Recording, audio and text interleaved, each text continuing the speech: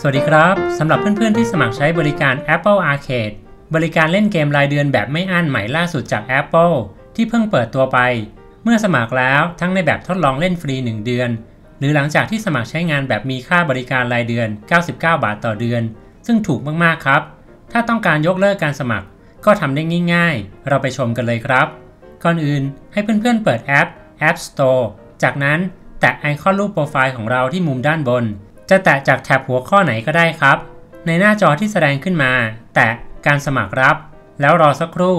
ข้อมูลการสมัครรับบริการต่างๆ ของเราที่สมัครไว้กับ Apple จะแสดงขึ้นมาครับ ในตัวอย่างนี้จะเห็นว่าของผมมี Apple Arcade และ Apple Music อยู่ครับ เราไปดูวิธียกเลิก Apple Arcade กันเลยครับ ด้วยการแตะเลือก Apple Arcade หน้าจอแสดงรายละเอียดจะแสดงขึ้นมาครับ ว่าการสมัครของเราหมดอายุเมื่อไหร่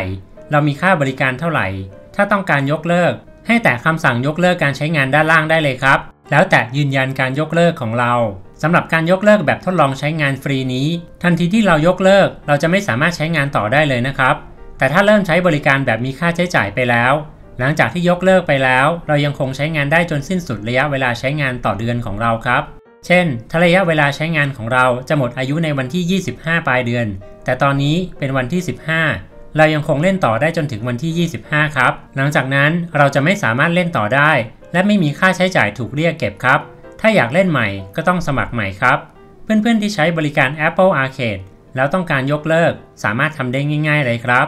เพื่อนๆครับ ฝากรบกวนเพื่อนๆ กดปุ่มติดตามเป็นกำลังใจในการทำคลิป และกดปุ่มรูปกระดิ่ง เพื่อให้ YouTube แจ้งเตือนทันทีที่มีคลิปใหม่ๆด้วยนะครับ ขอบคุณมากครับที่ติดตามรับชม แล้วพบกับสอนใช้ง่ายนิดเดียวในตอนหน้า สวัสดีครับ